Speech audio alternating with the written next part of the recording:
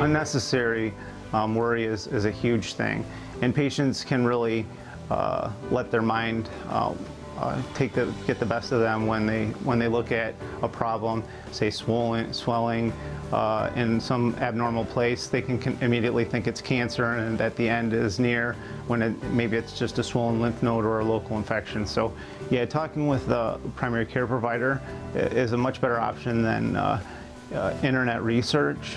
Um, though the internet does have its place i- as far as allowing a patient to establish a, a series of questions for primary care provider when they do come into the office.